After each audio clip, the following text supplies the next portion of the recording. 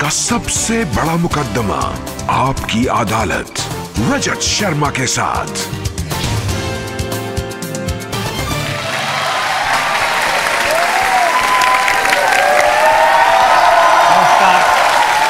Thank you thank you आपकी अदालत में आज मेरे मेहमान हैं। फिल्मी दुनिया के ऐसे चमकते सितारे जिनके दीवाने आजकल पूरी दुनिया में हैं। ये नायक भी हैं, खलनायक भी हैं, ये हंसाते भी हैं, ये रुलाते भी हैं। इन्हें आपने कॉमेडी में पसंद किया है, ट्रेजेडी में पसंद किया है, लोग इन्हें ओटीटी का बादशाह कहते हैं। प्लीज़ वेलकम लोकप्रिय अभिनेता पंकज त्रिपाठी।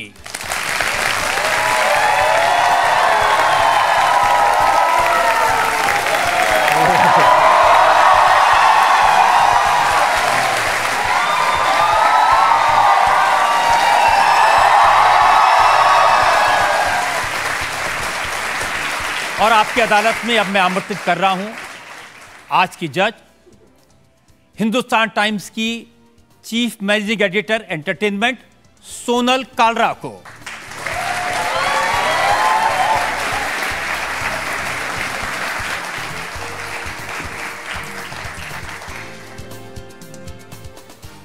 और इससे पहले कि आपकी अदालत में आज का मुकदमा शुरू करें इल्ज़ाम सवालत का सिलसिला शुरू करें, आज की जज सोनल कालरा की इजाज़त चाहेंगे।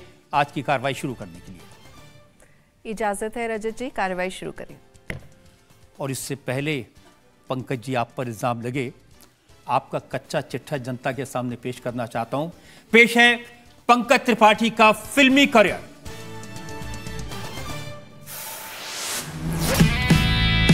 बचपन मगरमच्छों के साथ गुजरा है मेरा।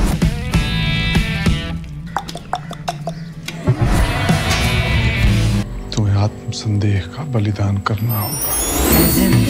मुंबई फ़िल्म इंडस्ट्री के सबसे पॉपुलर और सबसे बिज़ी एक्टर्स में से एक। पंकज त्रिपाठी ने अभिनय की शुरुआत बिहार के एक छोटे से गाँव में नाटक मंडली से की।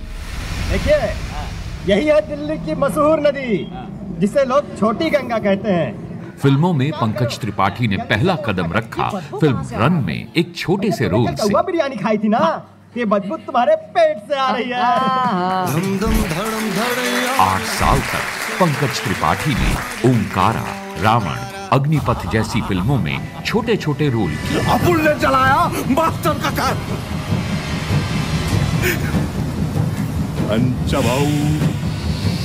चले।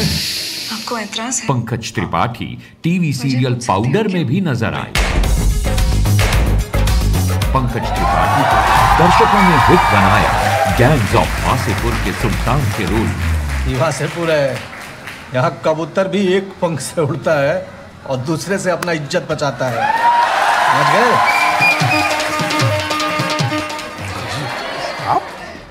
पुलिस स्ट्रीलिंग अबे पुलिंग स्त्रीलिंग बोथ है स्ट्रगलिंग मैडम उसके बाद पंकज त्रिपाठी ने फुकरे मसान नील बटे सन्नाटा बरेली की बर्फ़ी जैसी फ़िल्मों में सपोर्टिंग रोल किए। बेटा हमारी पुरानी गाड़ी है। बार बार सर्विसिंग का कुछ ना कुछ काम निकल ही आता है। पिछले हफ़्ते ही बवासीर ठीक हुई है। अकेले अकेले इतनी रात को कहा? क्यों? क्या हुआ? पूजा शुरू हो चुकी है। अगले चार रात वो शिकार पे आने वाली है। स्त्री में पंकज त्रिपाठी ने दर्शकों को डराया। स्त्री! और गुंजन सक्सेना में रुलाया। गद्दारी का विपरीत क्या होता है अपोजिट ईमानदारी।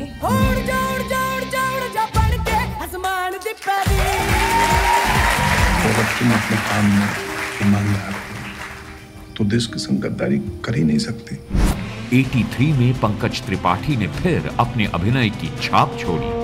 लूडो में स्क्रीन पर पंकज त्रिपाठी का गाना ओ बेटा जी इंटरनेट पर नेशनल सेंसेशन बन गया। ओ बेटा जी किस्मत की हवा कभी नरम कभी गरम कभी नरम नरम कभी गरम गरम कभी नरम गरम नरम गरम।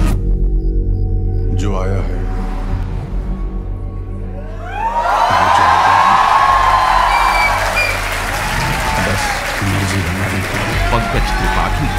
ज़बरदस्त लोकप्रियता मिली मिर्जापुर के कालीन भैया के रूप में। गद्दी पे चाहे हम रहें या मुन्ना नियम सेम होगा। टीवी सीरियल क्रिमिनल जस्टिस के वकील माधव मिश्रा के किरदार में भी पंकज त्रिपाठी हिट हुए। फ़िल्म कागज़ में पंकज त्रिपाठी ने अपने अभिनय से लोगों के दिल जीत लिए। मैं लिख के देता हूँ कोई नहीं आएगा वोट देने। लिख के दीजिए कोई नहीं आएगा वोट देने। न्यूटन में अपने रोल के लिए पंकज त्रिपाठी को नेशनल अवार्ड मिला। ओ मेरी माँ। माँ और बच्चे का रिश्ता ना इस दुनिया का सबसे पवित्र रिश्ता होता है। फ़िल्म मिमी में पंकज त्रिपाठी को अपनी भूमिका के लिए एक बार फिर नेशनल अवार्ड से सम्मानित किया गया। मेरे बच्चे का भविष्य अंधकार में क्यों जा रहा है महाराज? अब आप ही आके राह दिखाएँ विवेक की रक्षा करो। ओ माई गॉड 2 में पंकज त्रिपाठी ने शिव भक्त के किरदार से लोगों का दिल जीत लिया। पंकज त्रिपाठी की लोकप्रियता का एक पैमाना यह भी है कि वो 27 प्रोडक्ट्स के ब्रांड एम्बेसडर हैं। और अब दर्शकों को इंतज़ार है पंकज त्रिपाठी की फ़िल्म मैं अटल हूँ का। निराशा दुख डर ये सब आपसे छीनने आया। जिसमें उन्होंने अटल बिहारी वाजपेयी की भूमिका अदा की है। Sir Musharraf is threatening with a nuclear attack यदि ऐसा हुआ तो कल का सूर्योदय पड़ोसी मुल्क का सूर्यास्त होगा। टीवी सीरियल्स के करीब 800 एपिसोड्स में काम कर चुके हिंदी फ़िल्मों के सुपरहिट सितारे पंकज त्रिपाठी आपकी अदालत में अपना मुकदमा खुद लड़ेंगे।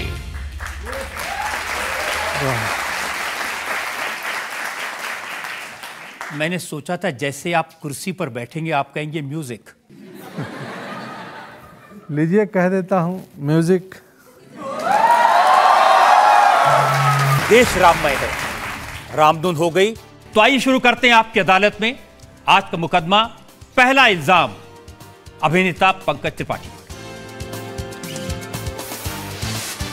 आपकी अदालत में फ़िल्म स्टार पंकज त्रिपाठी पर इल्ज़ाम है कि ये बड़े शरारती हैं। पंकज जी जितने भोले भाले आप दिखते हैं फ़िल्मों में और यहाँ भी जितने मासूम बने हुए हैं उतने मासूम आप हैं नहीं। आपके गाँव वालों ने बताया कि बचपन से ही शरारती थे। जेब में सांप रख के ले जाते थे लोगों को डराते थे। सांप की रस्सी बना के घुमाते थे। सच है? हाँ मुझे सच स्वीकारना है ना?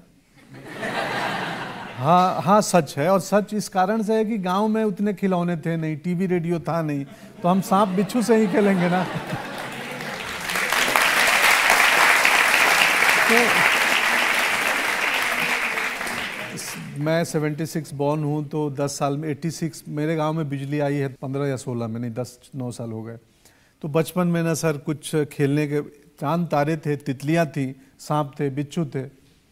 गली मोहल्ले के कुत्ते थे इन्हीं के साथ खेलते थे। तो साइकिल पे सांप लपेट के ले आते थे। नहीं वो एक बार दुर्घटना गलती से हो गई थी। वो वो लाया नहीं था। तो फिर कोई दुर्घटना गलती से हो जाए तो गाँव में आके उसको बढ़ा चढ़ा के बोल दो कि मैंने बहादुरी का काम किया है। पेड़ से गिर गए और चोट लग गई तो बोले कि कूदे थे हम। दरअसल गिर गए थे। तो बचपना में ये सब कर लेते थे। और साइकिल के करतब भी बहुत दिखाते थे आप? हाँ हाँ। वो साइकिल का करतब दिखाता था क्योंकि एक लड़का था वो भी साइकिल का करतब दिखाता था ना तो वो लड़कियों में पॉपुलर था। तो, तो स्कूल में ये नए सतवीं आठवीं क्लास में तो एक स्लो साइकिल का रेस होता है ना कि कौन कितना स्लो चलाएगा। तो जो स्लो साइकिल रेस का विनर था ना वो वो बड़ा पॉपुलर था। तो हम भी सीखने लगे थे कि अगले साल मैं विनर बनूँगा और मैं पॉपुलर बनूँगा। मैं हार गया नहीं बन पाया था। इतना शरारती बचपना कि एक बार आपने कीड़े खा लिए। नदी में तैरना सीखना था मुझे गाँव घर के पीछे नदी है तो एक पानी के ऊपर एक काले रंग के छोटे से कीड़ा बहुत तेज पानी के सतह पे तैरता है वो। तो गाँव के बड़े बद शरारती थे जो बड़े भाई भाई लोग वो लोग बोले इसको पानी उठा के पी जाएगा तो तैरना सीख जाएगा। क्योंकि ये तैरने सीखने वाला कीड़ा है तो हम उठा के दस बारह पी गए थे कि तैरना सीख जाएँगे। वो तो पेट खराब नहीं हुआ यही गनीमत है। आप कह रहे हैं शरारत नहीं थी तो ये भी शरारत नहीं थी कि आप अपने जो रूममेट्स थे जो हॉस्टल मेट्स थे उनको डराते थे भूत प्रेत की आवाज़ निकाल के? ये तो सारे इल्ज़ाम मुझे मानने ही पड़ेंगे क्योंकि सच ही हैं। हाँ एक मेरा बैचमेट था तो हम नींबू सिंदूर सुई ला के लगा के उसके। वो थोड़ा डरता था भूत प्रेत में बहुत तो हम उसको डराने के लिए मैंने काम ये किया है। अब मैं आपको एक आपकी बड़ी शरारत बताता हूँ। आपका नाम था पंकज तिवारी। आपने अपना नाम बदला और साथ साथ अपने पिताजी का नाम भी बदल दिया। हाँ ये बड़ी शरारत है। इतिहास में पहली बार हुआ होगा कि पिता को पुत्र का सरनेम मिल जाए। हाँ वो दसवीं क्लास में मैं दसवीं का एडमिट कार्ड भर रहा था फॉर्म इम्तहान का। तो मुझे तिवारी से ना, मेरे गाँव में दो त्रिपाठी थे। मेरे चाचा अपने त्रिपाठी लिखते थे। वैसे दोनों सरनेम एक ही होते हैं। तो वो अधिकारी बन गए थे सरकारी जॉब में। एक बाबा थे तो वो प्रोफेसर बन गए थे हिंदी के। तो मुझे और जितने तिवारी सरनेम थे, वो लोग पूजा पाठ, कर्मकांड और खेती किसानी करते थे। तो मुझे लगा, गुरु, ये सरनेम का चक्कर है। मैं, मुझे किसानी और कर्मकांड नहीं करना है तो लास्ट ऑप्शन है। कुछ जीवन में नहीं होगा तो फिर ये तो अपना है ही, वृत्ति। तो मैंने फॉर्म में अपना नाम त्रिपाठी लिखा, फिर लगा, बाबूजी का तिवारी लिख दूँगा, पंडित बनारस तिवारी मेरे पिताजी हैं। तो क्या पता मेरा एडमिट कार्ड रिजेक्ट हो जाए कि ये सरनेम क्यों है? तो मैंने उनका भी सरनेम पंडित बनारस त्रिपाठी कर दिया। आपने बड़ा आदमी बनने के चक्कर में नाम बदला, लेकिन आपको तो जोशी ने बताया था कि आप एक्टिंग वैक्टिंग कुछ नहीं कर पाएँगे, आपका सिनेमा में कुछ नहीं चलेगा, आपके पैर में चक्कर है। हाँ हस्तरेखा विशेषज्ञ थे। तो हाथ देखा, मेरे घर में एक शादी थी बड़ी बहन की, वो विदाई हो गई तो शादी की विदा होने के बाद घर में थोड़ा सुना माहौल होता है ना। बुज़ुर्ग एक जगह बैठे हैं, बच्चे थोड़े दूर खेलते हैं, और वो सारी सजावट रहती है, लेकिन माहौल में सुनापन होता है। तो अचानक उस सुनापन को दूर करने के लिए मैं खेल रहा था तो मुझे बुलाएगा, इधर आओ। और अय जयकांत, वो बी एच यू से प्रोफेसर थे, देखा था हाथ है कर वो हाथ देखते हैं। तो देख के उसमें कहा गया कि विदेश यात्रा लिखा हुआ है इसके हाथ में। तो नेपाल हमारे घर से 40 किलोमीटर दूर है। तो सबने कहा कि कहाँ जाएगा विदेश? नेपाल जाएगा ये। तो वो बोले नहीं नेपाल तो हम लोग हस्तरेखा में विदेश की कैटेगरी में नहीं आता है क्योंकि ना वीज़ा ना पासपोर्ट आप चले जाओ नेपाल या आ जाओ। बोले ये बाहर है। तो ये बातचीत चलने लगी कि ये करेगा क्या? कि आ, इतना विदेश यात्रा इसके हाथ में है तो मुझे सर एयर इंडिया का मेंटेनेंस स्टाफ बनाए वो लोग।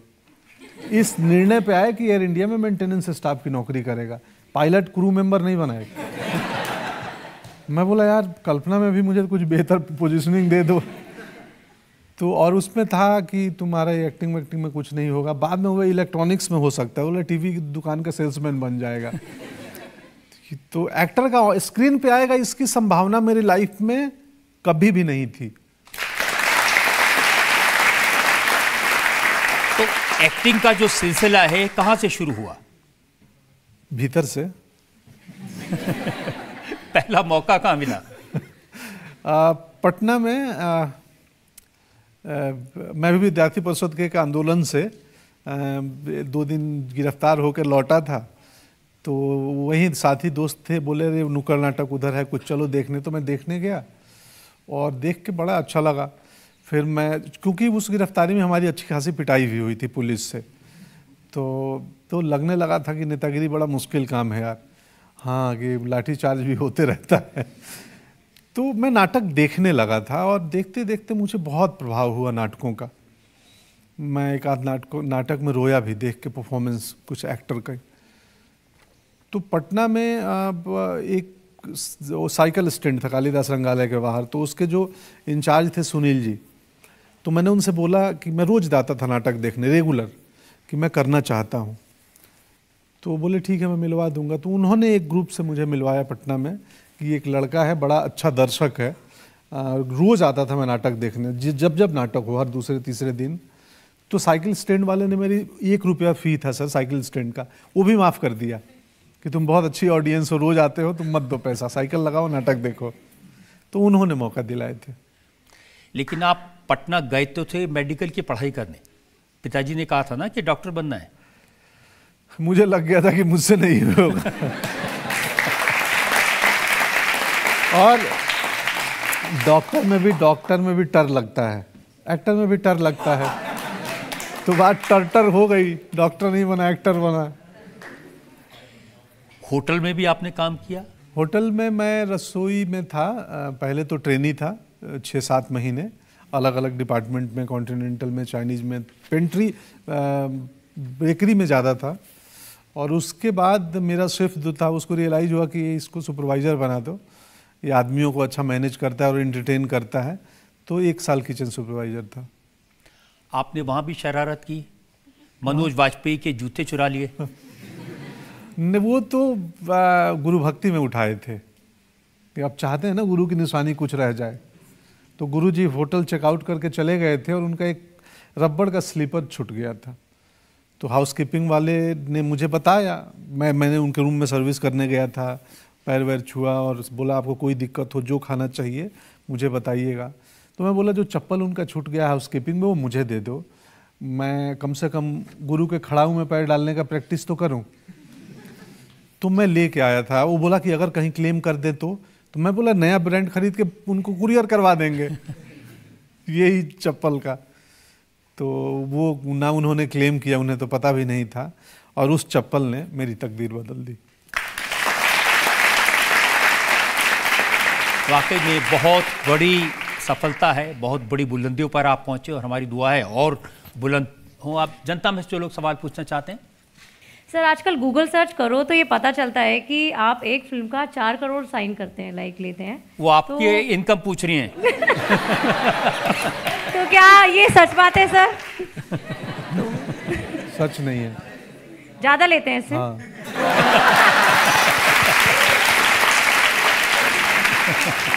मेरा सवाल ये है कि आपके पास कितनी और कौन कौन सी गाड़ियाँ हैं? B M W Jaguar Mercedes Ferrari Audi ये मैं, मैं बताऊँ। ये सारी तो हो गई क्यों जानना चाहते हो? मैं आपसे ये जानना चाहता हूँ। नहीं मतलब सर अच्छा लगेगा कि आप बता दो थोड़ा सा कि मेरे पास दो ऑटो हैं, दो स्कूटर है और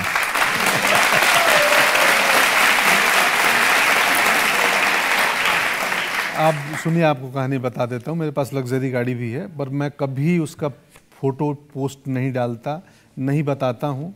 वो भी इसलिए मुझे लेनी पड़ी थी क्योंकि मैं जब फ़िल्में करता था और ब्रांड फ़िल्में करता था, मैं जब अपनी छोटी गाड़ी में जाता था तो सामने वालों को लगता था, यार, छोटे एक्टर को कास्ट कर लिया है। ये तो साधारण गाड़ी में आता है। तो उस भ्रम को दूर करने के लिए लग्जरी गाड़ी लेनी पड़ी। बाकी मुझे बहुत महँगी चीज़ें पसंद नहीं है। आप ये देखिए, खादी कॉटन का कपड़ा पहना हूँ।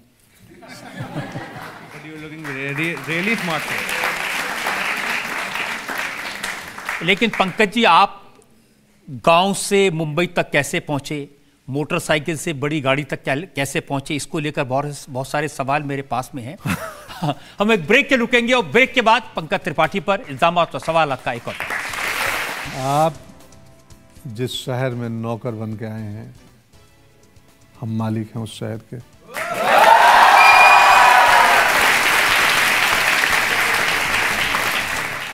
वो क्या एहसास है जो बना देता है? हर लम्हे को नया। मेरी मावल चाहे, हर लम्हा नया हो जाए।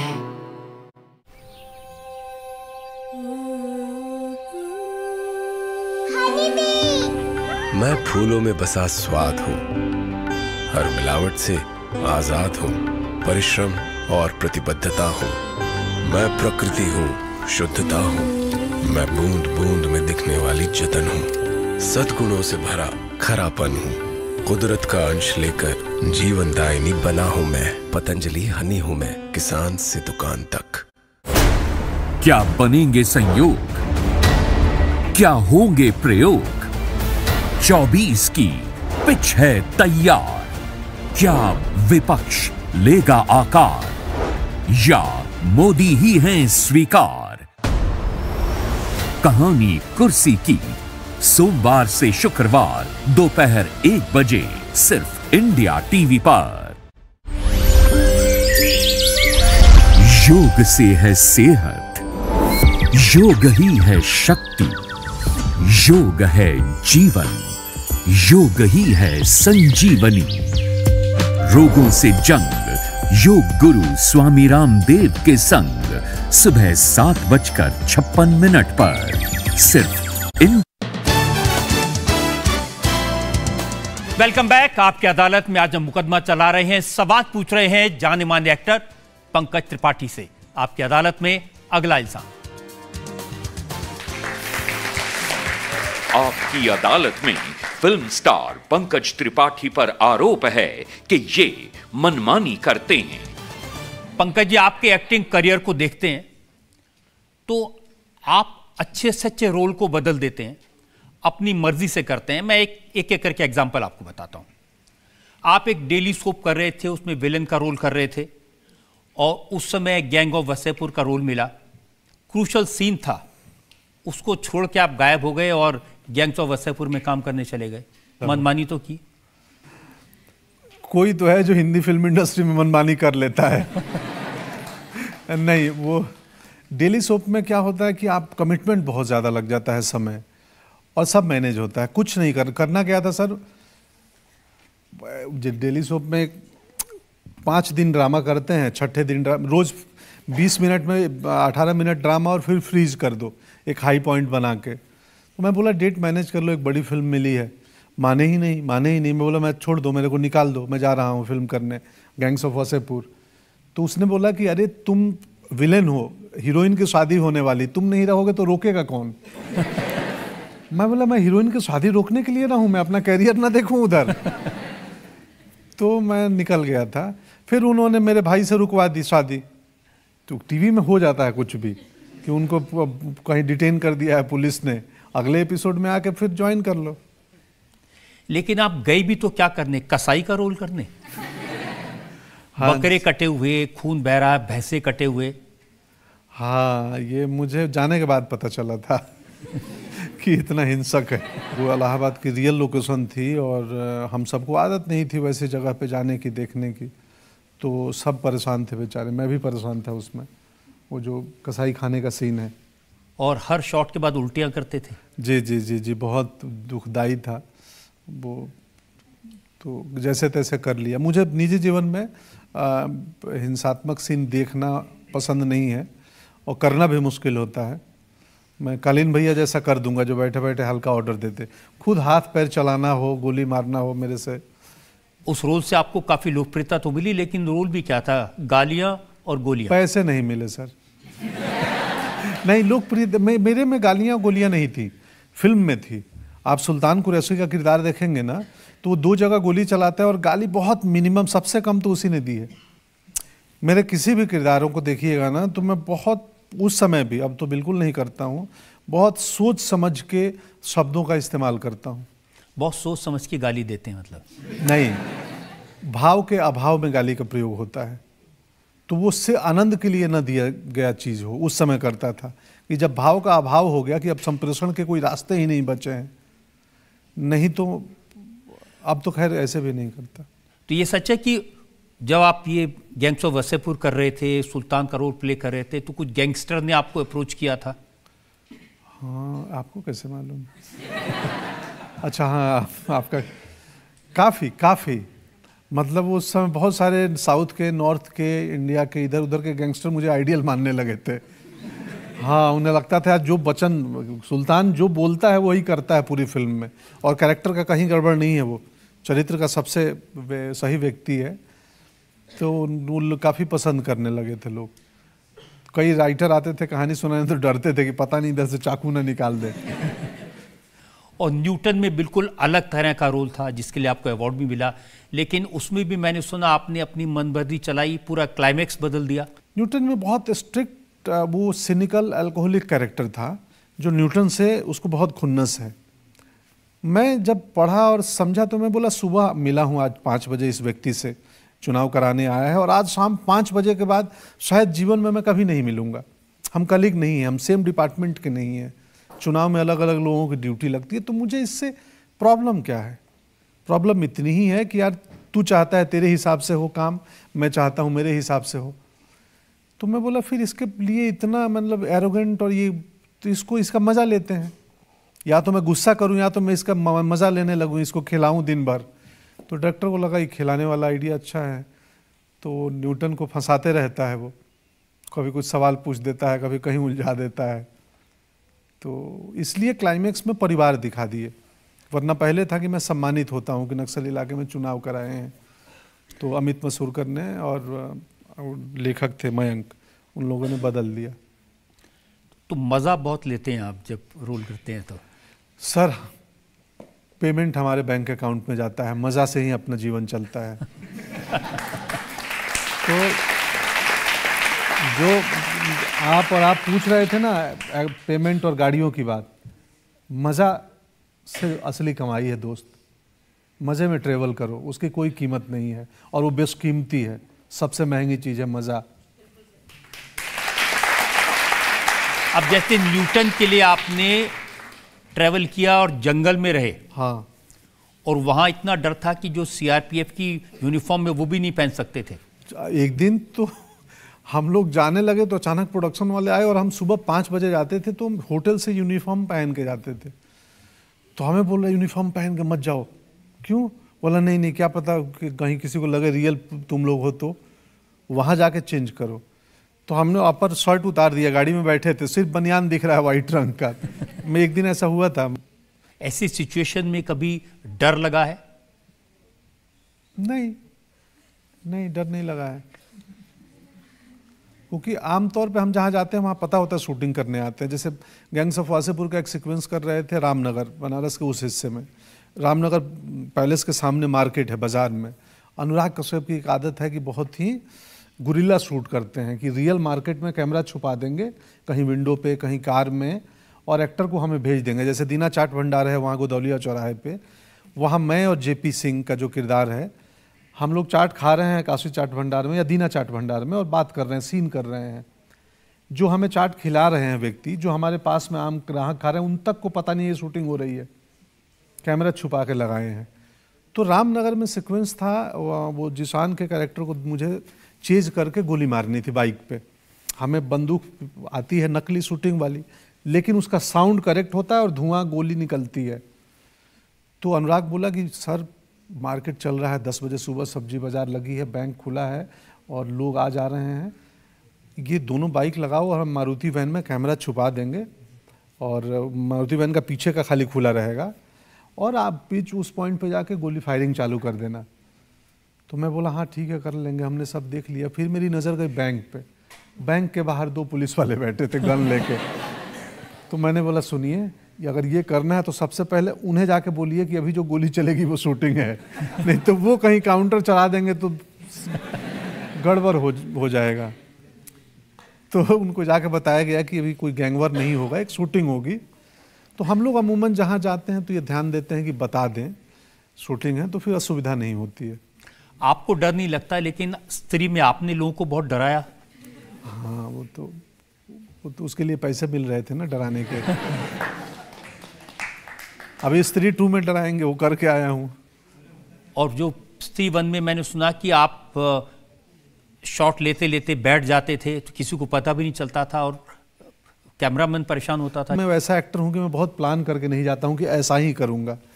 तो मैं संवाद में भी पॉजेज में भी स्पॉन्टेनिटी ले लेता हूँ। आंगिक अभिनय में उठने बैठने में भी मैं अचानक कभी कभार कुछ कर देता हूँ ऐसी हरकत। तो मेरे जो परिचित डीओपी हमेशा वाइडर लगाते हैं पहले कि थोड़ा वाइड रखो ये कभी भी हिल सकता है। स्ट्रिक्ट नहीं करता मैं अभिनय में अपने आप को। और अब आप बताते हैं कि मुझे कंबल का कॉस्ट्यूम बनवा दो। अरे बड़ी अच्छी रिसर्च है सर। हाँ स्त्री वन में ना मैं, मुझे, मैं बोला था उनको कि एक कंबल का लॉन्ग कोट बना दो कि ये छोटे शहर में चंदेरी में फंसे हैं, लेकिन खुद को यूरोपियन समझते हैं, वेस्टर्न। तो कपड़े तो मिलते नहीं है वैसे उनके प्रिंट चेक्स तो कंबल को काट के लॉन्ग कोट बना लेते हैं। तो उस आइडिया से अमर ने वो कपड़ा बनाया था। स्त्री वन में जो मैं लॉन्ग कोट पहनता हूँ ना तो वो कॉस्ट्यूम डिज़ाइनर का नहीं मेरा आइडिया था। क्योंकि रुद्रा भैया अपने किताबों में रहते हैं, सोच रहे हैं कि मैं यूरोपियन आदमी हूँ तो ऐसा कुछ बना के। ऐसे हैं मेरे गाँव में। मतलब हम हर गाँव में देखिएगा तो एक आदमी है जो रहता है गाँव में लेकिन दिमागी तौर पे वो कहीं और निवास करता है। और लूडो में जो आपने लेदर जैकेट बनाया ब्लैक और सफ़ेद जूते? वो अनुराग बसु मैं नहीं बनाया। वो अनुराग दा अनुराग दा का किया हुआ है। उन्होंने इसलिए किया बोला यार गैंगस्टर का रोल है तुम बहुत गैंगस्टर कर लिए हो। तो क्या करूँ कि कुछ लुक वाइज ही अलग हो जाए? तो वो पीला चश्मा लेदर जैकेट जूते लुंगी फिर वो एक गन यहाँ रखता है निकालता है। तो ये सब ऐड हुआ। लेकिन लूडो में जो कैरेक्टर था था गैंगस्टर लेकिन बड़ा प्यारा आपने प्यारा। उसको बना दिया। हाँ। तो ये आपका कारनामा था? मैं हर निगेटिव किरदार को उसके परिवार के पॉइंट ऑफ़ व्यू से पहले देखता हूँ कि क्या वो अपने परिवार के लिए भी विलेन होगा? फिर मुझे दिखता है नहीं। अपने गब्बर सिंह की बेटी के लिए गब्बर सिंह तो हीरो होगा। कि पापा कहाँ गए हैं? बोला काम करने गए हैं। शाम को कमा के आएँगे तो रोटी बनेगी। तो जब आप मैं विलेन को उसके परिवार के पॉइंट ऑफ़ व्यू से देखता हूँ और मुझे वो अच्छे लोग लग दिखने लगते हैं। आप भी लोगों को अच्छे लगते हैं। अरे ये प्रेम है। जनता से जो सवाल पूछना चाहते हैं। सर आपकी बहुत सारी फ़िल्में आई हैं और किसी भी फ़िल्म से आप अपना एक फेवरेट डायलॉग सुना दीजिए। आप जिस शहर में नौकर बन के आए हैं हम मालिक हैं उस शहर के।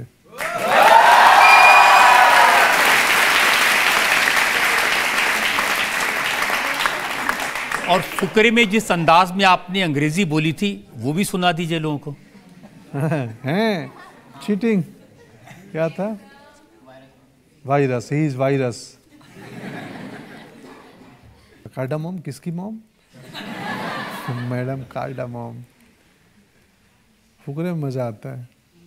तो ये जो आइडिया था हिंदी अंग्रेज़ी मिक्स करके बोलने का? ये भी मेरा ही था। मैंने पहले पार्ट वन में जब फुकरे वन आई थी जब चौकीदार था तो मैं डायरेक्टर को बोला तो वो पहले तो उन्होंने इनकार कर दिया कि नहीं नहीं नहीं, नहीं जो लिखा है वही बोलना। फिर रिहर्स कर रहे थे हम लोग। लाइटिंग चल रही थी लाइटमैन केबिन में थे वो। सिक्योरिटी का केबिन है जो पंडित जी का। मिरांडा कॉलेज का केबिन था वैसे। पहचान रहे हो ना? जाते हो ना उधर? तो तो वो लाइटिंग चल रही थी और हम रिहर्स कर रहे थे तो डायरेक्टर ने मना कर दिया, अंग्रेज़ी बोलना मत। तो मैं ऐसे ही मैंने बोला कि तो शूटिंग थोड़ी है रिहर्स कर रहे हैं। तो मैंने डायलॉग बोल दिया हाँ ही सो वलगर चूचा को। तो लाइटमैन वहाँ जो काम कर रहे थे, वो हंसने लगे।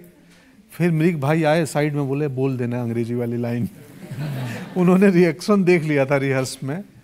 फिर वो ऐड हो गया। फिर पार्ट टू में तो लिख के आया पार्ट थ्री में लिख के आया पार्ट वन लेकिन फ़र्क देखिए पार्ट वन में पार्ट टू में पोस्टर पर आपकी तस्वीर नहीं थी। पार्ट थ्री में पंकज त्रिपाठी सेलेबल स्टार हो गए। यही तो जीवन है।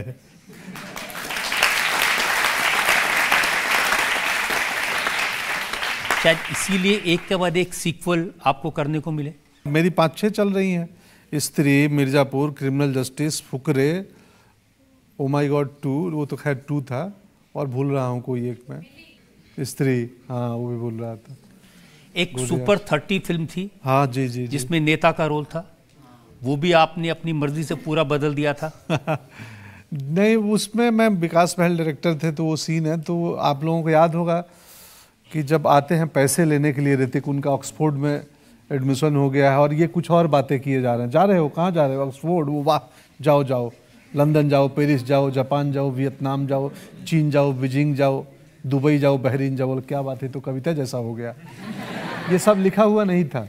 तो मैं उस बिहार के एक नेता का किरदार था।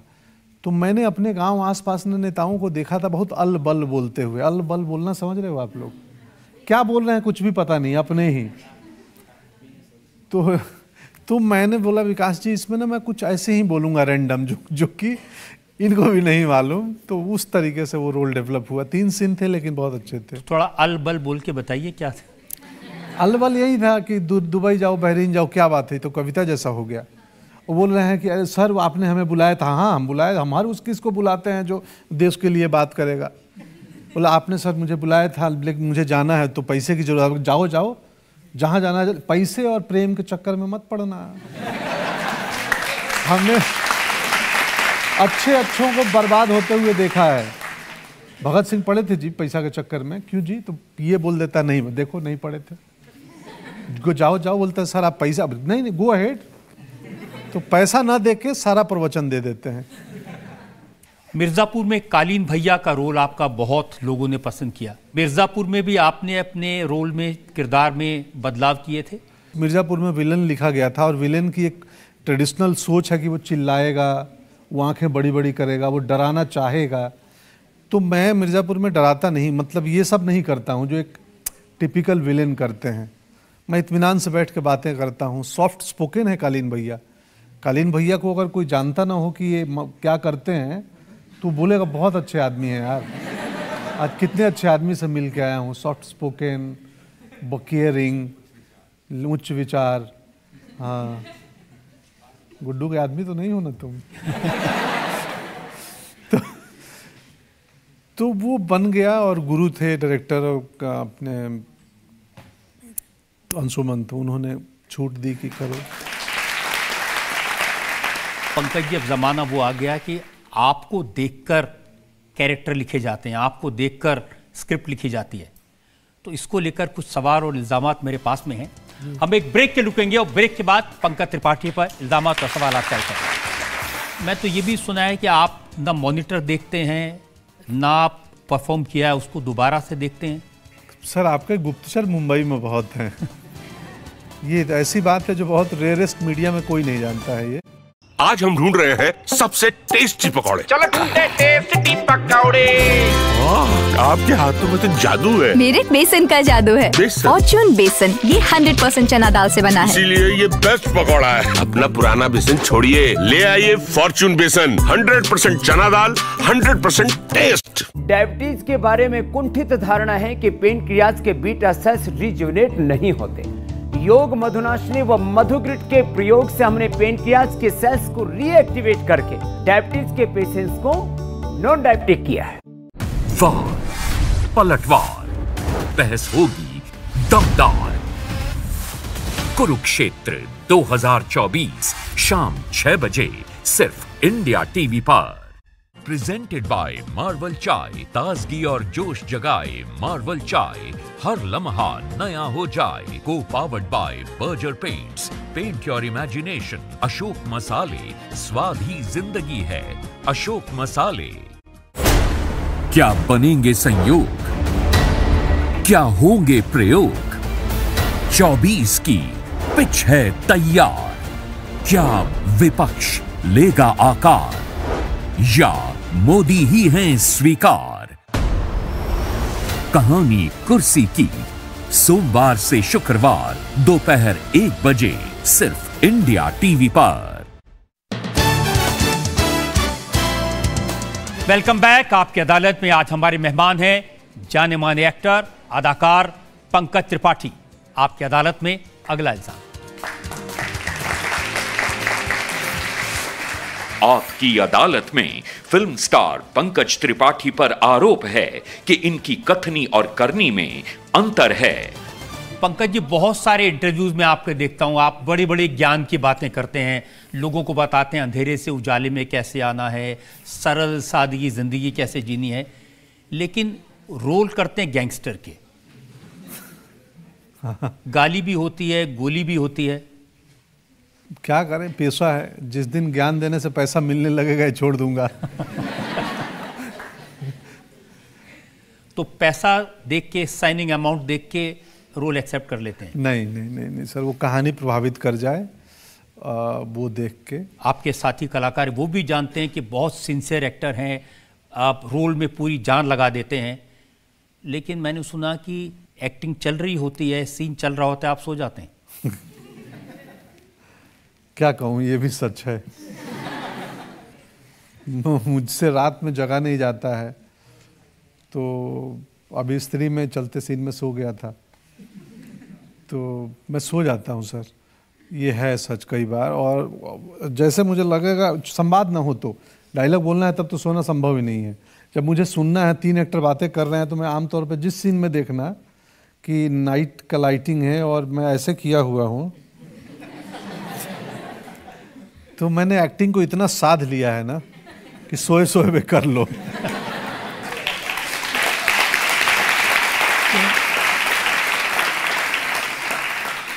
मैंने ये भी सुना कि कई बार जैसे हाँ, आप सर भारत जो है ना भारत हमारा हम टेक्स्ट बुक में किताबों में पढ़े ना कृषि प्रधान देश है। वैसे मैं नींद प्रधान आदमी हूँ। मुझे सोना चाहिए।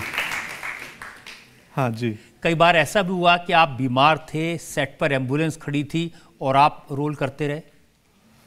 जी, ऐसा हुआ है, दो बार हुआ है और एक बार ऑफ़र आए हैं ऐसे होने के। आप समझ रहे हो, ऐसे होने के ऑफ़र भी आ गए थे। मैं बोला, बीमार हूँ। तो हमारे डायरेक्टर ने बोला तो एंबुलेंस और डॉक्टर रखेंगे ना सेट पे? मैं बोला, ये फ़िल्म नहीं करनी है मुझे। तो ऐसा हुआ दो बार, क्योंकि सर शूटिंग का डेट अगर कमिट हो गया तो दो ढाई सौ लोग होते हैं लोकेशन बुक होता है को एक्टर की डेट्स है, और प्रोड्यूसर का कम से कम पचास साठ लाख का कॉस्टिंग है, और सबके डेट्स हैं, उससे भी बड़ी चीज़। तो उसको हिलाने में ना बहुत तकलीफ़ होती है, और कई बार ये मेरे दोस्त और रिश्तेदार नहीं समझ पाते हैं। किसी दोस्त की शादी है उसी डेट में। बोलता है तो छोड़ दे शूटिंग तो कैसे छोड़ दूँ भाई? मैं अकेला नहीं हूँ, मेरे साथ चार एक्टर हैं। इतने लोगों के डेट्स हैं लोकेशन है तो ये प्रोफेशन की कुछ कुछ मजबूरियाँ होती हैं उनमें से एक है कि आप बीमार हैं उतने बीमार नहीं हैं कि आपको आईसीयू में जाना पड़े और पानी चढ़ाना पड़े पेन किलर एंटीबायोटिक से काम चल चल, सकता है तो करो। आप एक दोस्त ने मुझसे शिकायत की कि इनको फ्रैक्चर हो गया था 83 की शूटिंग के दौरान तो भी सेट पर डटे रहे। हाँ कौन दोस्त है ये? हाँ मैं, मुझे रिब फ्रैक्चर हुए थे चार और पाँच में और रात को सोया नहीं गया। सुबह पता चला मुझे मिर्ज़ापुर के सेट पे जाना था। वो जो एक रैली है जहाँ स्टेज पे माधवी और मुन्ना है और मैं भी हूँ, वो सीन किया मैं और करके दूसरे सेट पे गया, दूसरे ओ टी प्लेटफॉर्म का फ़ोटो शूट करने बैंड्रा ताज होटल में मैंने फ़ोटो शूट किया। अब मुझसे रहा नहीं जा रहा था दर्द के मारे पेन किलर खाने के बाद भी। तब मैं लीलावती हॉस्पिटल गया। एक्सरे हुआ तो पता चला दो फ्रैक्चर है रिब्स में। उन्होंने बोला, आप रेस्ट करो, इसका कोई प्लास्टर नहीं है, हीलिंग खुद होगी, लेकिन आराम चाहिए। और अगले दिन सुबह मेरी लंदन जाने की फ़्लाइट थी। 83 का वर्कशॉप था, थर्ड डे से, और वहाँ शूटिंग थी। तो वही कमिटमेंट क्या करूँ? तो सो के हम लंदन पहुँचे। वहाँ सबको मालूम था कि भाई इनको छोड़ दो अभी। तो जितना जैसे मेरा शॉट ख़त्म होता था तो मैं कहीं बिस्तर रहता था आसपास में लेट जाता था। तो बट पेन पाँच छः दिनों में दर्द चला गया था बट हीलिंग होने में काफ़ी समय लगे। लेकिन जो दोस्त हैं परिवार वाले हैं आपके फैंस भी जो हैं उनको ये बातें अच्छी नहीं लगती हैं? अब मैं भी नहीं करूँगा। मैंने भी तय कर लिया कि सेहत पहले क्योंकि ये कमिटमेंट और प्रोफेशनलिज्म के चक्कर में ना हम अपने आसपास के लोग अपना सेहत खोते जाते हैं। मैं जब अपनी बेटी को देखता हूँ और बीवी को तो मुझे लगता है कि मैं कहाँ समय इन्हें दे पा रहा था? इस बार मैंने तय किया है जुलाई में मतलब मानसून में। बॉम्बे का मानसून बहुत अच्छा है और मेरे घर का तो और भी अच्छा है। मैं 20 बरसात पत्नी के साथ देखूँगा। कुछ नहीं, देखूँगा। पानी को बरसते हुए पत्नी को बुलाऊँगा, आओ यहाँ बैठो, क्या करना है? मतलब बारिश देखना है।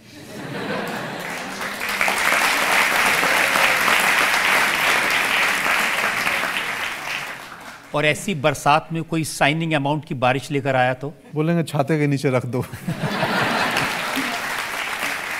मैं तो ये भी सुना है कि आप ना मॉनिटर देखते हैं ना आप अपने जो परफॉर्म किया है उसको दोबारा से देखते हैं। सर आपके गुप्तचर मुंबई में बहुत हैं। ये ऐसी बात है जो बहुत रेयरेस्ट मीडिया में कोई नहीं जानता है ये। आप पहले व्यक्ति हैं जो सवाल किए मैं नहीं देखता हूँ मोनीटर मैं कभी भी शूट करने के बाद कैमरे में कैसा आया मैंने क्या किया मैं चेक नहीं करता मुझे लगता है डायरेक्टर है कैप्टन उसका काम है मोनीटर देखना। अगर उसने ओके कर दिया तो उनको जो चाहिए होगा वो मिल गया होगा। जनता से सवाल पूछना चाहते हैं। मेरा सवाल ये है जैसे अभी रजत सर ने भी बताया कि आपकी ज़्यादातर मूवीज़ के सीक्वल्स बनते हैं और आप रोज़ रिपीट करते हैं तो इसके पीछे की खास वजह क्या है? फ़िल्म चल गई थी। सिर्फ़ यही वजह है फ़िल्म हिट हो गई थी। आप किसी फ्लॉप फ़िल्म का सिक्वल प्रिक्वल देखी हैं? तो इसकी वजह सिर्फ़ और सिर्फ़ एक फ़िल्म हिट हुई थी पैसा ज़्यादा आया था और ज़्यादा लाना है।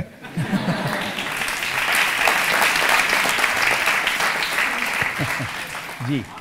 क्या ये सच है कि जब आप मुंबई आए थे तो गुंडे के रोल के लिए राम गोपाल वर्मा के पास आप चले गए थे? हाँ हाँ गया था ना। और वहाँ गया तो देखा कि मेरे से ज़्यादा ज़्यादा खतरनाक गुंडे पहले से खड़े थे। तो मुझे लगा, यार, मैं तो फिर बहुत सही चेहरा है मेरा। एक का, इधर मार्क लगा हुआ है। मतलब ऐसे मैं पूछा, आप लोग एक्टर हैं? तो बोले हाँ एक्टर हैं। बोले तो इतने खतरनाक क्यों लग रहे हो? तो बोला, भाई, खतरनाक आदमी की कास्टिंग करता है ये रामगोपाल वर्मा। तो उन दिनों तो चार बंगला में ना, कई तो ऐसे मार्क और ब्लड लगा के घूमते थे कि रामू की नज़र पड़ जाए। मिल गया अपना एक्टर। लेकिन रामू ने आपको देखा, बुलाया? वहाँ बुलाया। बहुत इंटरेस्टिंग किस्सा है वो भी सर रामू बुलाया मुझे एंड बोले, बैठो वहाँ।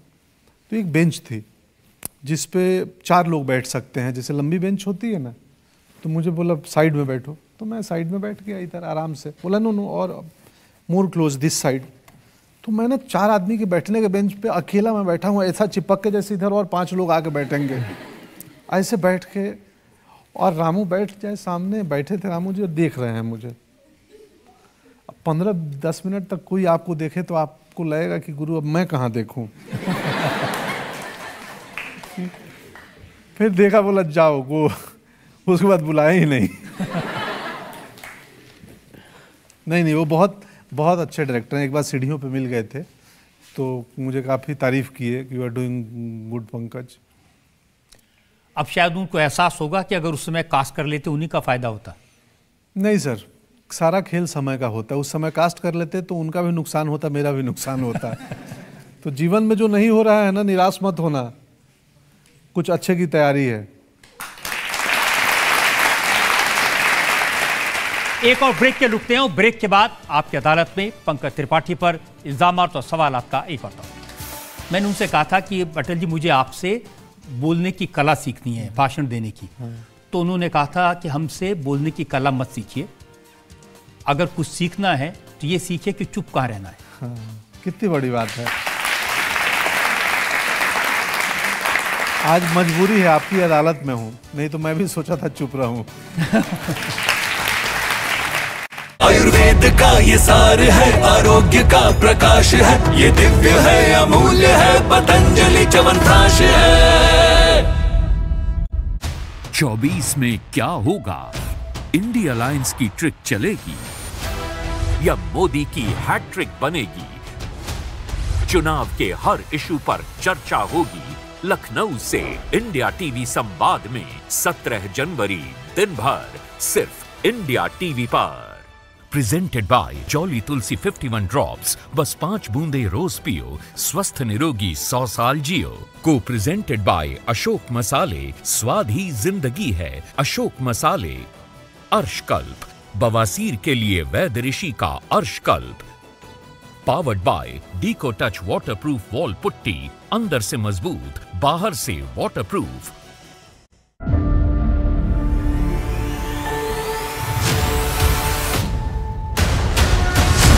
राजधर्म सोमवार से शुक्रवार दोपहर तीन बजे सिर्फ़ इंडिया टीवी पर। क्या बनेंगे संयोग? क्या होंगे प्रयोग? 24 की पिच है तैयार। क्या विपक्ष लेगा आकार? या मोदी ही हैं स्वीकार? कहानी कुर्सी की। सोमवार से वेलकम बैक। आपकी अदालत में आज हम सवाल पूछ रहे हैं इल्ज़ाम लगा रहे हैं। जाने माने स्टार पंकज त्रिपाठी पर। आपकी अदालत में अगला आपकी अदालत में फ़िल्म स्टार पंकज त्रिपाठी पर इल्ज़ाम है कि ये ज़रूरत से ज़्यादा इमोशनल हैं। पंकज जी मैंने सुना इतने ज़्यादा इमोशनल हैं कि आपकी शादी हुई विदाई वाइफ की हो रही थी, आप रो रहे थे। हाँ। मुझे लग रहा था मेरी वजह से ही विदाई हो रही है। तो एक अपराधी मैं भी हूँ। मुझे विदाई बुरा, बहुत बुरा लगता है। मैं सिर्फ़ अपनी पत्नी नहीं, गाँव में भी कोई लड़की विदा होती है ना तो जो माँ बाप से दूर होने का मैं इमोशनल हो जाता हूँ। अब देखिए ना, बिगनिंग में अपना ही वीडियो देख के इमोशनल हो गया, ऐसा कुछ नहीं था। मेरे किए हुए काम है।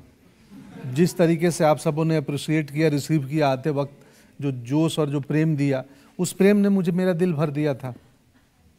तो ये आरोप सही है और ये अच्छा है। ये ये आरोप सब पे लगे इमोशनल होने का। गुंजन सक्सेना की फ़िल्म में जानवी जब एक्टिंग करती थी उसको आप बिल्कुल बेटी की तरह मानने लगे थे। उसके टेक्स देखकर भी आप रोते थे। उससे बॉन्डिंग मेरी बहुत अच्छी अ, हो गई थी आज भी है। वो मेरे घर आती थी और बहुत सिंसियर और हार्ड वर्किंग है। तो क्योंकि बाप बेटी मेरी भी एक बेटी है सर तो मैं बेटियों से वैसे ही थोड़ा ज़्यादा जुड़ा हुआ हूँ। मैं रहता हूँ, मेरे घर में चार पाँच महिलाएँ हैं, मेरी पत्नी, बेटी और लोग।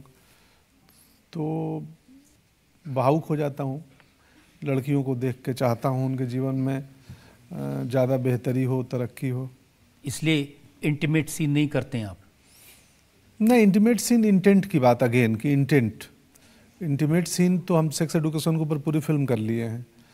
तो इंटेंट क्या है? सनसनी फैलाना या स्टोरी टेलिंग की कहानी उसके बिना पूरी नहीं हो सकती है। उस उस कितनी उपयोगिता है कहानी में? आपने बहुत सारे नेताओं के रोल किए हैं हाँ। फ़िल्मों में लेकिन अटल जी देश के हीरो थे। तो हीरो का हीरो बनना इसके लिए काफ़ी तैयारी करनी पड़ी होगी। जी बिल्कुल। पहले तो डरना पड़ा काफ़ी डरना पड़ा। आप कभी मिले ज़िंदगी में अटल बिहारी वाजपेयी से? मैं मिला हूँ अटल जी से। बड़ी रोचक कहानी है। आप सब भी सुने सुना ही देता हूँ दो।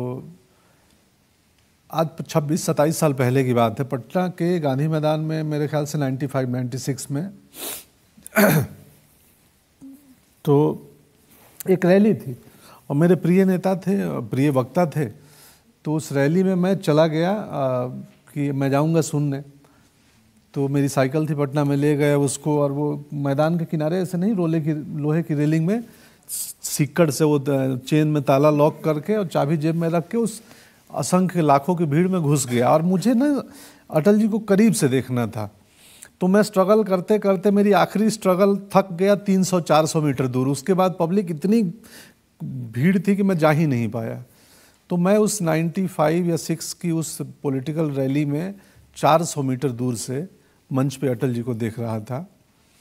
और सिनेमा में वाइड एंगल बोलते हैं वाइड फ्रेम कि जहाँ सब कुछ दिखे। तो एक पूरा स्टेज दिख रहा था मुझे मंच, और मंच पे अटल जी भाषण दे रहे थे, आ चुके थे, और पीछे शत्रुघ्न सिन्हा जी खड़े थे। तो मैं वाइड एंगल में देखते रहा, और उससे आगे मैं जा नहीं पाया था भीड़ की वजह से। जब जब इस फ़िल्म की शूटिंग होती थी रवि जी रवि जाधव जो मेरे डायरेक्टर हैं वो सेट पे मुझे अटल जी ही बोलते थे। तो डीओपी जो है सिनेमाटोग्राफर जो हमारे फ़िल्म के लॉरेंस तो लॉरेंस को बोलते थे रवि जाधव कि अरे अटल जी का एक, एक क्लोज लगाओ अटल जी का एक्सट्रीम क्लोज लगाओ। तो वो जब बोलते थे अटल जी का एक्सट्रीम क्लोज लगाओ तो मेरे दिमाग में वो वाइड दिखता था। जब मैं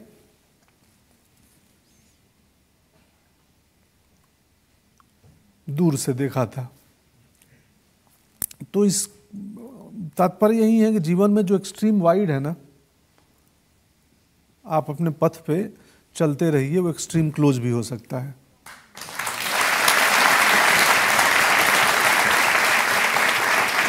जब आपकी अदालत में अटल बिहारी वाजपेयी आए थे तो मैंने उनसे कहा था कि आपके नाम में कॉन्ट्रडिक्शन है। तो उन्होंने जवाब दिया था कि हमारे माता पिता ने हमारा नाम सही रखा था मैं अटल भी हूँ और बिहारी भी हूँ। तो आपकी फ़िल्म में उनका ये रूप नज़र आएगा? आ, प्रयास तो किया है हम सबने। आ, ये रूप तो वैसे भी नज़र आ जाएगा कि अटल जी का किरदार कर रहा हूँ अभिनेता है वो एक बिहारी है। अटल जी स्वभाव से ज़रूरत पड़ती थी तो नरम होते थे और जब ज़रूरत पड़ती थी तो गर्म हो जाते थे। और पाकिस्तान के प्रति वो नरम भी रहे, गर्म भी रहे तो ये नरमी गर्मी दिखाई है आपने?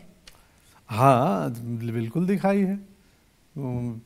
लाहौर बस यात्रा भी है, वो नरमी भी है, वो उनके विचार भी हैं कि एक मैत्रीपूर्ण संबंध बने और जहाँ सख्त निर्णय लेने पड़े थे वो भी हैं।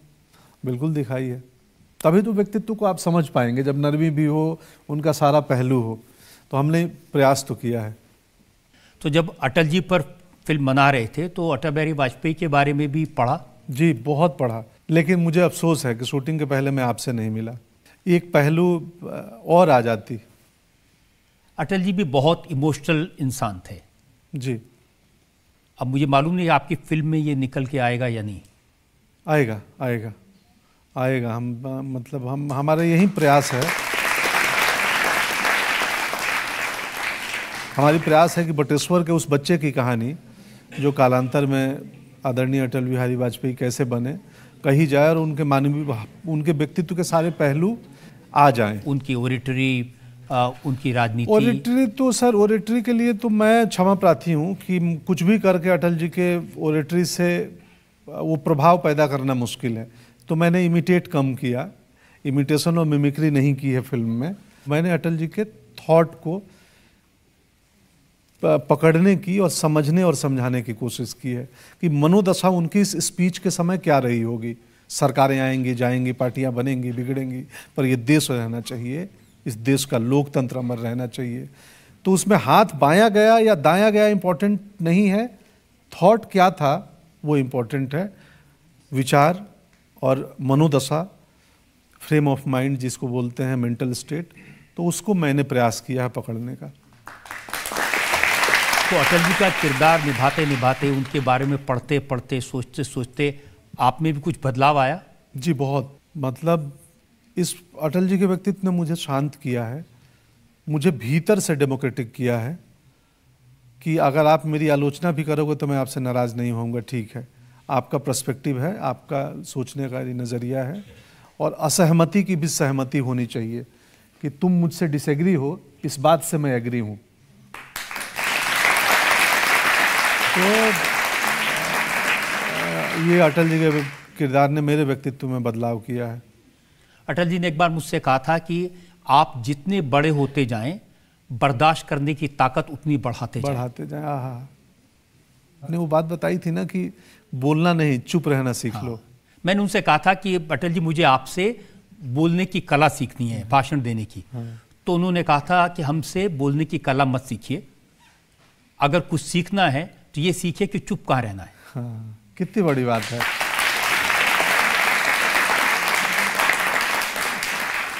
आज मजबूरी है आपकी अदालत में हूँ नहीं तो मैं भी सोचा था चुप रहूँ।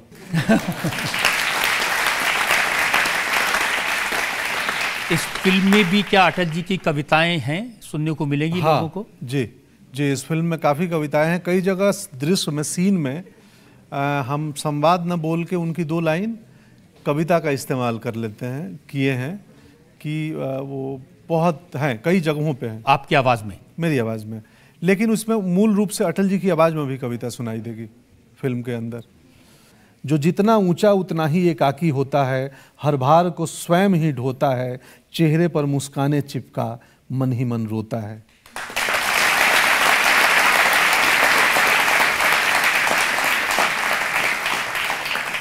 ज़रूरी ये है कि ऊंचाई के साथ विस्तार भी हो। ऊंचाई के साथ विस्तार भी हो, जिससे मनुष्य ठूंठ सा खड़ा ना रहे। औरों से घुले, मिले, किसी को साथ चले, किसी के संग चले, भीड़ में खो जाना, यादों में डूब जाना, स्वयं को भूल जाना, अस्तित्व को, अर्थ, जीवन को सुगंध देता है। धरती को बौनों की नहीं, ऊँचे कद के इंसानों की ज़रूरत है। इतने ऊँचे कि आसमान को छू लें। तो ये कविता है इस कविता के अंत में वो लाइन आती है कि मेरे प्रभु मुझे इतनी ऊंचाई कभी मत देना गैरों को गले न लगा सकूँ इतनी रुखाई कभी मत देना। आपसे एक सवाल था कि आपने इतने भांति भांति प्रकार के किरदार प्ले करे हैं। तो जब आपने अटल जी का एक इतना बड़ा किरदार आपने पेश किया तो आपको क्या कठिनाई महसूस हुई इस चीज़ में? यही कठिनाई चुनौती थी कि इमिटेशन कितना हो, नकल कितना हो, क्या मैं न्याय कर पाऊँगा? जीवन इतना बड़ा है, क्या रखना, क्या रखेंगे, क्या छूट जाएगा, क्या स्क्रिप्ट होगी? क्योंकि मुझे जब फ़िल्म अप्रोच हुई थी तो स्क्रिप्ट नहीं थी। तो बहुत सारे और सबसे बड़ी कठिनाई प्रोस्थेटिक और मेकअप दो घंटे मुझे प्रोस्थेटिक होता था मेरे चेहरे पे, और लखनऊ के 45 46 डिग्री टेम्परेचर में प्रोस्थेटिक का रूल है कि एसी फ्लोर पे 22 20 डिग्री तक आप आराम से पाँच घंटे कर सकते हैं छः घंटे। हमको रियल लोकेशन पे गर्मी में 45 डिग्री में तो बहुत चुनौतीपूर्ण और मुश्किल काम है फ़िल्म मेकिंग विनोद भानुशाली यहाँ पर है फ़िल्म के प्रोड्यूसर विनोद जी मैं आपसे जानना चाहता हूँ कि आपने अटल बिहारी वाजपेयी के इस मुश्किल रोल के लिए पंकज त्रिपाठी को ही क्यों चुना? तो जब फ़िल्म बनाने का हम लोगों ने सोचा कि अटल जी पे फ़िल्म बननी चाहिए हमें कोई दिखा ही नहीं। मतलब सिर्फ़ एक ही चेहरा दिखा और यही बात मैंने पंकज जी को बोली भी कि अगर आपने अगर मना कर दिया तो ये फ़िल्म नहीं बनेगी। मतलब हम नहीं बना पाएँगे। एंड आई थिंक हमारी जो चॉइस है या हमने जब साथ मिल के पिक्चर बनाई तो ये रिज़ल्ट आया है। बाकी अभी 19 जनवरी को लोग बताएँगे कि हमारा चॉइस राइट था या नहीं। मैंने विनोद जी, मैंने विनोद जी अटल जी को बहुत करीब से देखा है उनके हाव भाव देखे हैं। उनको बोलते हुए सुना है आपकी अदालत में बिठाकर उनसे सवाल पूछे हैं। तो मेरी राय शायद कुछ अलग हो सकती है कि आपने जिसको अटल जी का चरित्र किरदार निभाने के लिए चुना वो बिल्कुल सही चॉइस थी।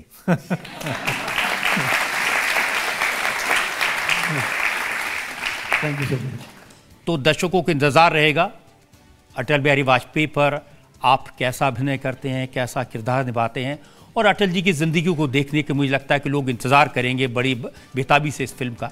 तो एक ब्रेक के रुकते हैं और ब्रेक के बाद सुनेंगे आपकी अदालत में आज की जज सोनल कालरा का फैसला। आज के मुकदमे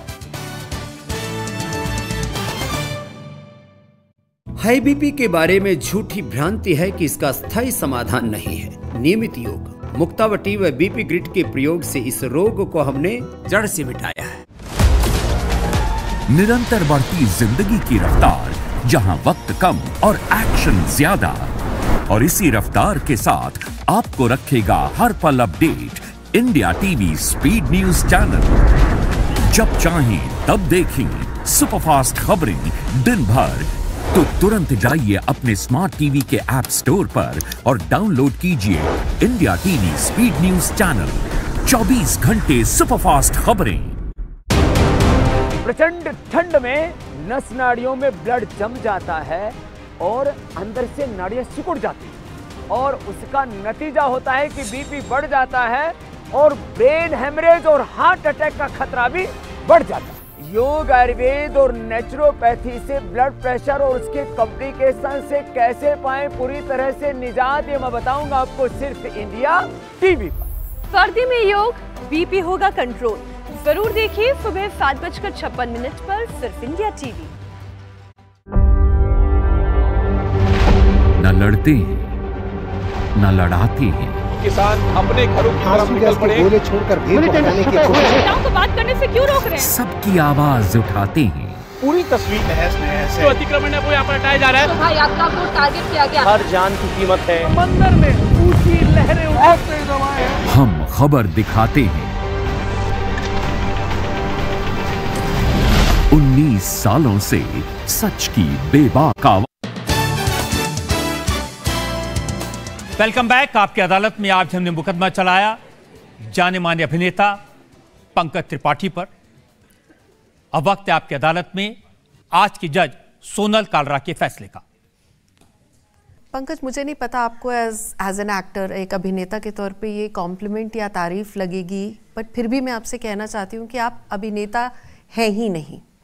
वो इस तरह कि आप जो करते हैं स्क्रीन पे उसमें इतनी सहजता इतनी सच्चाई है कि वो अभिनय नहीं लगता। हम में से यहाँ जितने भी लोग हैं मैं गारंटी से कह सकती हूँ कि उन्हें ऐसा लगता है कि उनमें से कोई व्यक्ति उठ के आज स्क्रीन पे आ गया। आप में उतना नेचुरल जो क्वालिटी है। और अ, उसी एकदम उसी सहजता और उसी सच्चाई से आज आपने ये सारे इल्ज़ाम, सवालों के जवाब ओन अप किए, कहा कि ये सच्चाई है और ये सब इल्ज़ाम सच्चे हैं और बहुत ही बढ़िया तरह से जवाब दिए। तो सज़ा का तो खैर सवाल ही पैदा नहीं होता, हम बस यही कहेंगे और आई एम श्योर सब लोग यही चाहेंगे कि आप साल दर साल तरक्की करें, आपका नया साल अच्छा बीते और ख़ास तौर पे मैं हूँ अटल के लिए आपको बहुत बहुत शुभकामनाएँ धन्यवाद।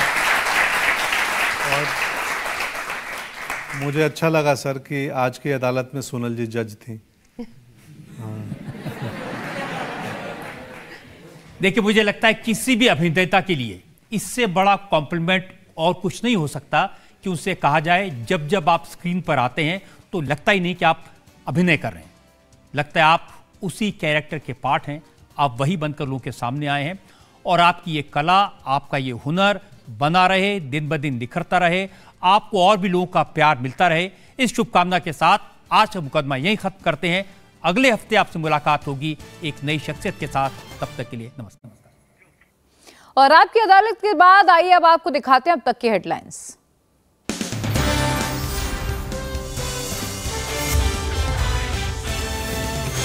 इंडिया टीवी आपकी आवाज़। Headlines present